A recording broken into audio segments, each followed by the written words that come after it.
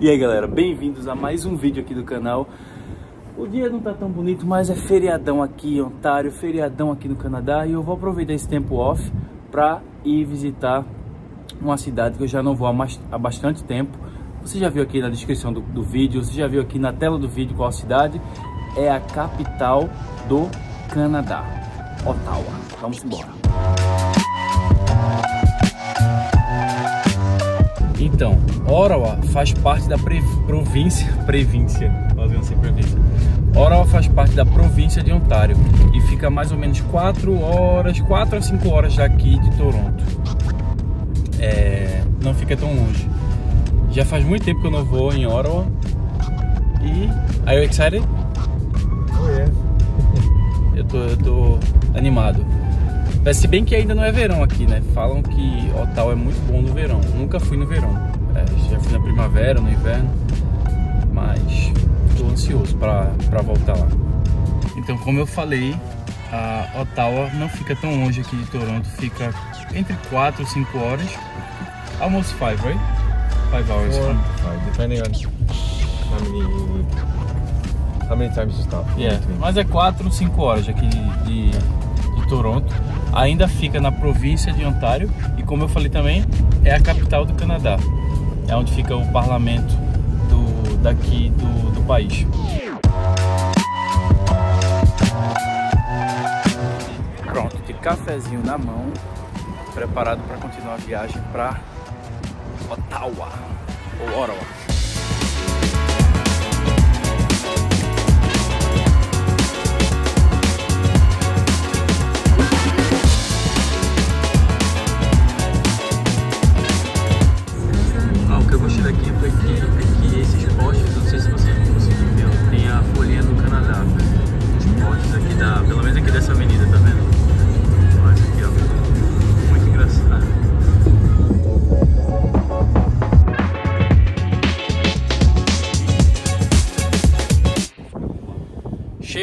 finalmente aqui. Esse é o hotel Embassy Hotel e Suites. Como eu já cheguei já com uma, um programa na, já agendado e a gente só tem 20 minutos para chegar lá, aí eu mostro depois o hotel. A gente literalmente chegou, estacionou o carro, colocou as coisas no quarto e agora vamos partir para o parlamento para fazer essa, essa programação que já está agendada. Acabei de falar a palavra errada aí, me perdoe parlamento. Eu misturei parlamento com parlamento. Saiu parlamento. parlamento. A gente tá indo agora é, lá no parlamento aqui do Canadá, em Ottawa. Ottawa, na minha opinião, reúne o que há de melhor dos dois países que colonizaram aqui o Canadá, a França e a Inglaterra. E aqui você vê é, muito claro quase que necessário, quase que obrigatório as pessoas falarem as duas línguas, a francesa e a inglesa. Diferente de Toronto, diferente de outras províncias que falam só o inglês ou só o francês. Aqui é muito claro isso, as pessoas quase que têm obrigação de falar as duas línguas. Talvez porque o parlamento, parlamento é aqui e também talvez porque o é, Ottawa faz divisa com Quebec. Então, deve ser por isso também. Estamos chegando aqui no Parlamento do Canadá. Prédio do Parlamento aqui em Ottawa, que fica bem no centro mesmo da cidade. Eu gostei dessa rua aqui, bonita. Os pontos, os principais pontos turísticos aqui de Ottawa Dá tudo para se fazer a pé. Ficam muito próximos um do outro. Agora bonitão, muito bonitão.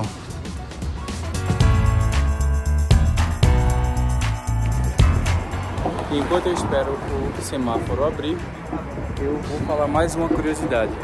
O Canadá recebeu, por ter ajudado a Holanda durante a Segunda Guerra Mundial, 100 mil uh, tulipas.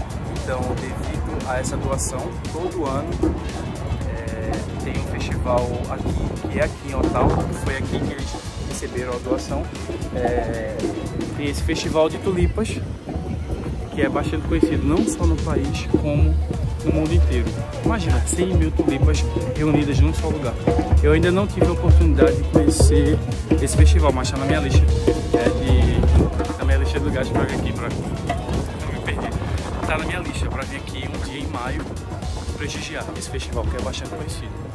Inclusive vou até deixar aqui a imagem em algum lugar desse festival de tulipas aqui, que fica aqui, que fica aqui em Ottawa.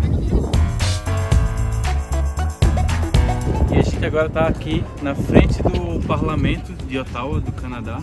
Ah, infelizmente o prédio, como vocês podem ver, está em reforma e a previsão é que demore 10 anos, entre 9 e 10 anos para terminar a reforma. Portanto, não tem como ter acesso ao parlamento, ao prédio principal. Mas é uma área conhecida, claro, e um ponto turístico Ottawa. Gente, é daqui também que eles usam esse espaço aqui para fazer a queima de fogos no ano novo. Isso aqui fica lotado. Não só ano novo, eles usam também esse espaço para celebração do Dia do Canadá, que é no dia 1 de julho. Todo mundo de vermelho, de vermelho e nesse caso no dia do Canadá e no ano novo também isso aqui fica tudo lotado aí eles fazem show com artistas ah, famosos aí pelo mundo. E é daqui. E a gente acabou de conversar com segurança e a gente vai tentar mostrar imagens mesmo ah, ainda estando em é, construção. A gente vai conseguir entrar um pouquinho mostrar só um, quer dizer eu, eu acho que eu vou poder mostrar algumas imagens mas é, espero que sim. Mas a gente vai conseguir ter acesso a um pequena, uma pequena parte do parlamento aqui de Ottawa. E aqui bem em frente ao parlamento ah, tem o Centennial Flame. Esse fogo está aí desde 1967 e é uma homenagem à celebração de 100 anos da Confederação Canadense. Está sempre ligado. Pode estar tá menos de 40 graus. 40 graus, menos de 40 graus, inverno, verão. Eu falei ligado, fogo aceso, galera. Corrigindo. Mas olha, a galera joga moedas e tal. Cocô de passarinho. E é isso. Centennial Flame na frente do parlamento.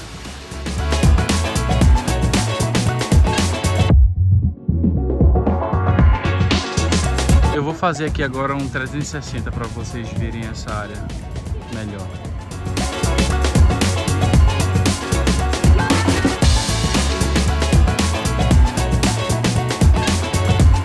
Jerry!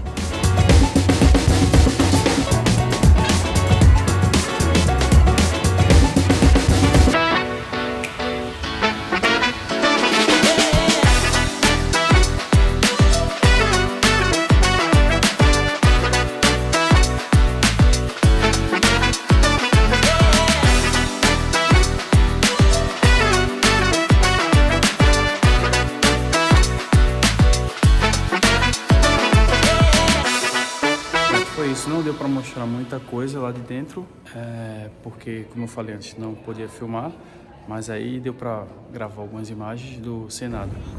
Então, como eu falei antes, não é a minha primeira vez aqui em Ottawa, mas eu eu acho que eu seria feliz morando aqui, apesar de ser um pouco mais frio do que Toronto, mas eu acho que é, parece que tem mais qualidade de vida, sabe assim?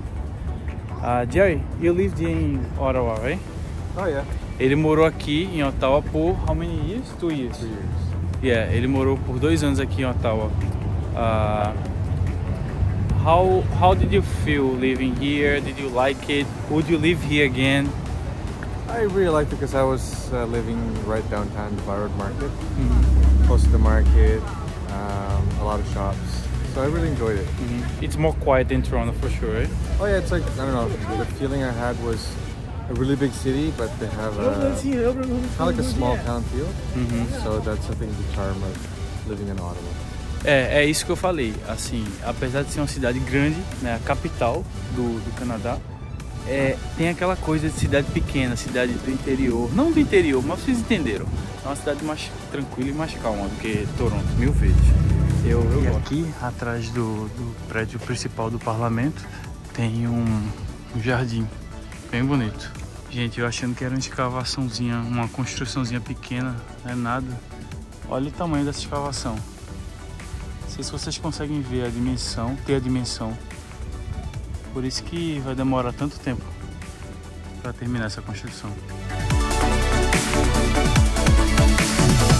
E essa área aqui atrás do parlamento, é, no verão, é, fica muito bonito porque fica tudo verde, tem muitas estátuas aqui ao redor da, dos prédios.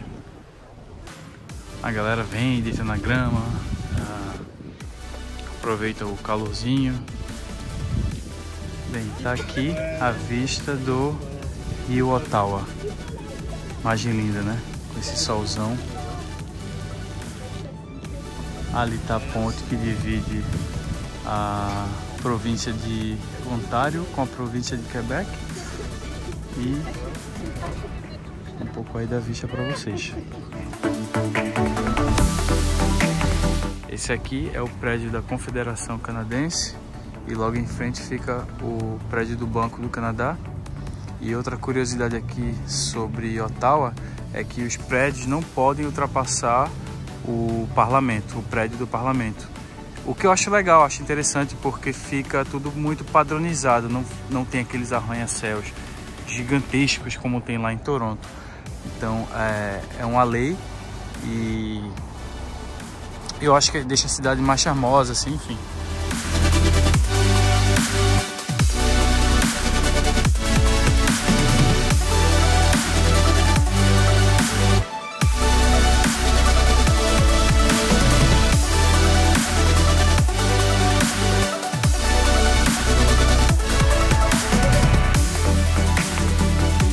Essa aqui é a famosa Spark Street, por isso que eles tinham aquele S lá, ó, agora que eu entendi.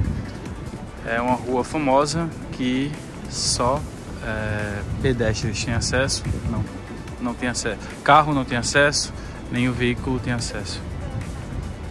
Tem o um nomezinho aqui também do, de Ottawa.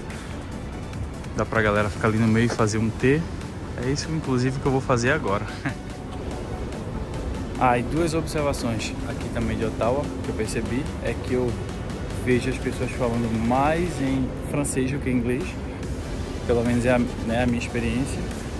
E a moradia aqui está mais barato do que Toronto. Fica aí uma opção. Se você está vindo para o Canadá, quiser a, analisar os preços de Toronto e Ottawa, acho que vale a pena você reconsiderar se mudar para cá para Ottawa. E eis que eu vou matar dois pontos turísticos aqui de Ottawa em um só lugar. Aqui atrás está a aranha, a aranha gigante, o monumento da aranha gigante e logo em frente a ela fica a Catedral de Notre Dame. Mas é claro que eu vou mostrar ambos mais de perto.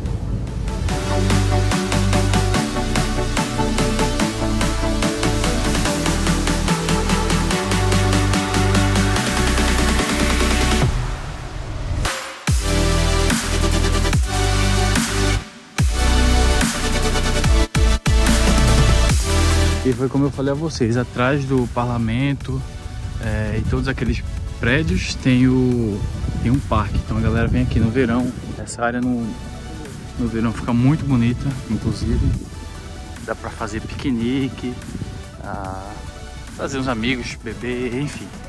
Aproveitar o tempo bom. É um parque lindo. Com a vista, vamos ser sinceros, uma vista linda também. E logo aqui fica o canal.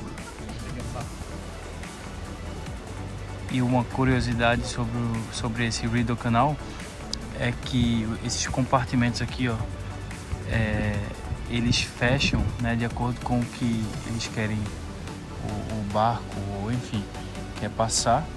Eles manualmente fecham os portões, a água sobe. É todo um processo manual, mas é muito interessante.